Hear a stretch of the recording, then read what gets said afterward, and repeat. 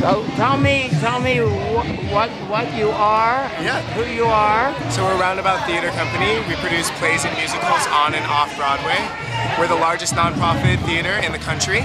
And right now we're raffling off two free tickets to see our off-Broadway play. It's called Skintight, starring Idina Menzel. Uh, what?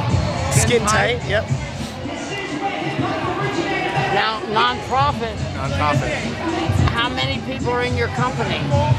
Our staff, we have an administrative staff of around, I'd say 60 to 100 people. How many? 60 to 100, but that's not including casting and the actors and whatnot. I know there are millions, millions of actors, casters, screenwriters. We've had great people in our shows.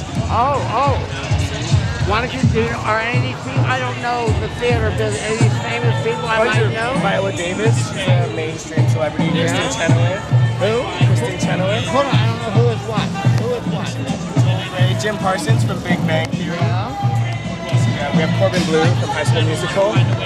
So, so, Jessica So Lange. these are all well-known.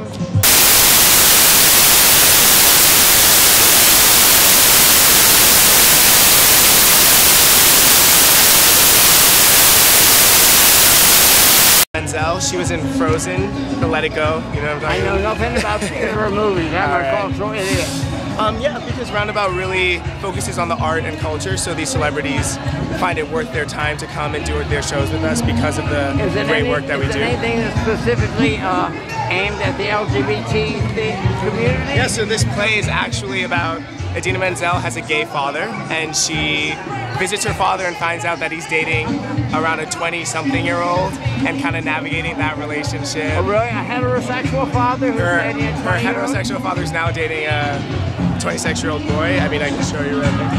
So this is her father, and that's her father's new boy toy.